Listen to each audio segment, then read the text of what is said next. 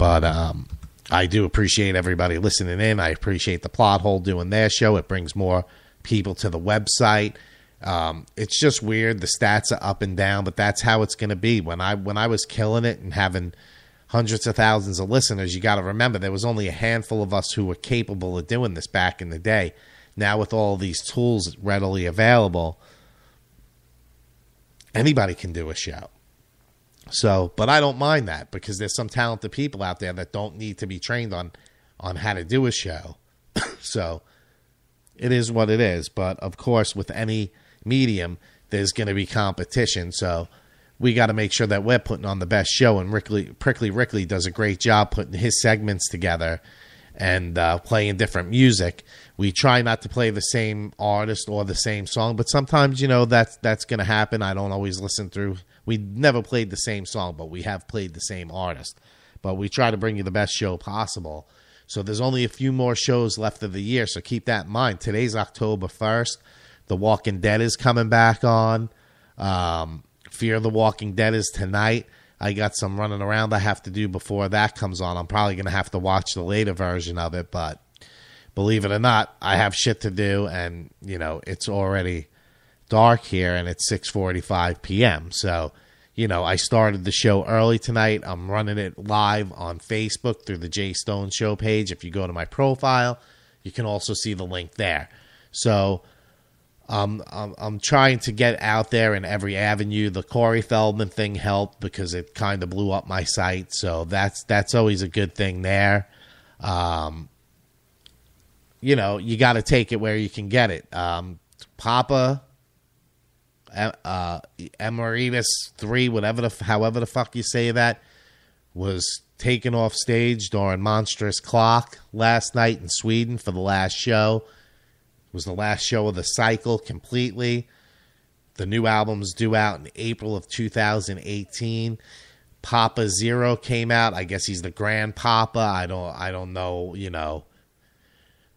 He's the old guy who came out with an oxygen tank and two security guards. They took him off. He said that uh, basically it's over for Papa 3. So hopefully we're going to see Papa 4 revealed soon. You know, a lot of people don't like Ghost. I'm a big fan. There was a guy today. Usually don't bust on people's bands, but if you're gonna bust on bands, you better be able to back it up. There's certain people that that'll say Ghost sucks and they're musicians, but they they can back it up because they're a good musician themselves. So their opinion might be valid. It, it's not for everybody, and that that's the thing. But this guy's band sounded like a 90s cover band. The recording was so bad. He's so proud of himself. He's not a bad singer. Their logo is childish and looks like it was derived in a kindergarten class, which not necessarily a bad thing. Some bands take a tree branch and that's their fucking logo. But these I'm I'm not even going to mention their name. Someone said I shouldn't even mention them, but you know what? I I did on Facebook in the Ghost group because because I was like, fuck it, they're not going to get any likes because of this. Everybody hates this guy. And I wanted to point out that their recordings suck they sound uh, so 90s they're trying to be a metal band the guy's not a good he's a good singer but they sound like a, a 90s cover band and and then i kind of retracted that statement to say that's almost an insult to a 90s cover band because a lot of cover bands are very talented and they play their songs and hone the skills of playing other people's music so when they play their own music it's that much better if that makes sense so I am not a big fan of playing cover music. I can go out to a bar. There used to be a band on Long Island. They're probably still playing. I haven't been out to the Long Island bar scene in probably 17 years since I uh, I moved to fucking Tarpon Springs. But um, they were called the Blue Scoobies. I'm sure they're still around. They were a great cover band. Those guys could play three hours and then take a break for an hour and then play again and do two sets, make a shit ton of money and never played the same song twice in a month. And we would go to, uh, I think it was called Lily Flanagan's. I'm not even 100% sure, but yeah, that's where I used to go to hang out, breaking glasses on my fucking forehead and shit like an idiot. But uh, yeah, I was in a band once and I was a fucking lunatic as well. So, man, I can't even read all the shit that I wrote. So, But yep, Manson did fall down and went boom, and he'll be back. He'll be back. I mean, people get hurt. These people aren't invincible. At least, you know, it might have been reckless if he did jump on it, but, you know, that shit should have been stable enough. You know, this guy is going to go. He's going to go when no guy has gone before as far as climbing on shit. And, you know, I, I was in Poughkeepsie during the mechanical animal show, and all of a sudden chairs are coming out the hotel window and shit. So you never know what's going to happen. He lit the place on fire, and everybody had to leave after the show was over because he was pissed about something. So you know, things go on. But I don't know. I guess some uh, people are actually watching me trying to promote the show on uh, Facebook Live. I scribbled rockmetaltalk.com, tune in live. But uh, you know, they don't make it easy to write with that stuff on the screen. I know it's you know newer technology and stuff, but man, when you got fingers like a, a, sausage, you know, it doesn't help. I have been called sausage finger before, but I really dig that girl, uh, Track Girl by Bone Monkey Man. So check those guys out. They're on Facebook. Uh, really great band. They got a show coming up at, um, I believe it's at, I think it's at Revolution. I don't want to misspeak, so go to the Bone Monkey page. It's not, you might find the Monkey Bone. It's not Monkey Bone. It's Bone Monkey featuring Dave Alvin of White Trash. So I'm proud, you know, that guy keeps on going, man. He's a very talented and artistic guy, and um, I'm glad to have him as a friend. And uh, uh, you know, he's got a great family, and he's he's around great people and puts out great music. So I mean, the guy, you know, I grew up listening to his band, so I mean, we're we're probably pr- pretty close in age, but a couple of years younger. If he's you know twenty years old and I'm seventeen or sixteen, you know, it's still a an influence to me in my life. I mean, to me, that was you know the first band that did that and added the horns and and started doing stuff like that.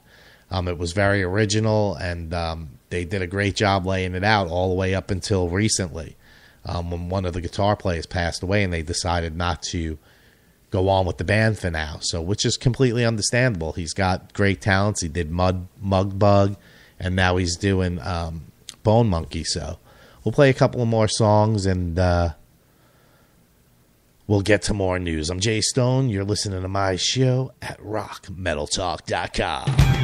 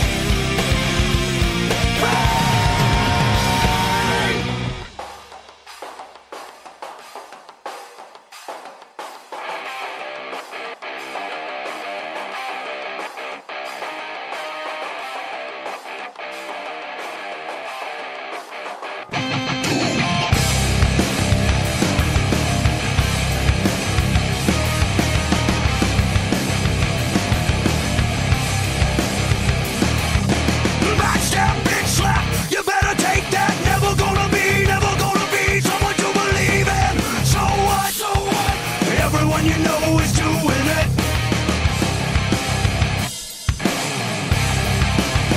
Here comes another heart attack, just a small fact. Too fast to live, too slow to learn. So what? So what? Who cares what you think? Everyone you know is doing it. So what? So what? Who cares what you think? Everyone you know is doing it.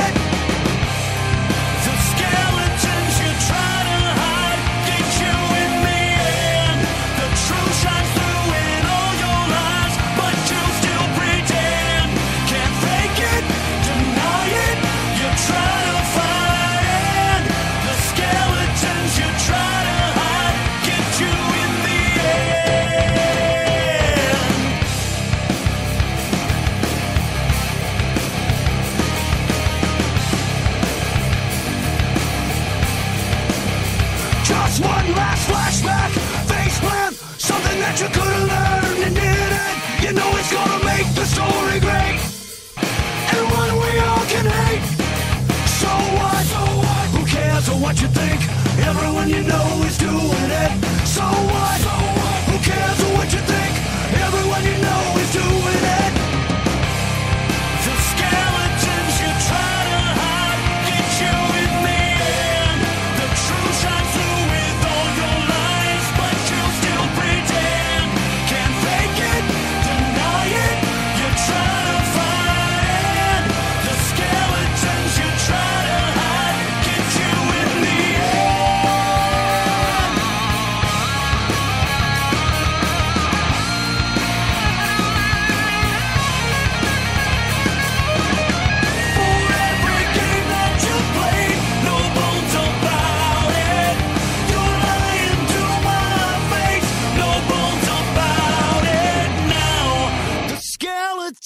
Try to hide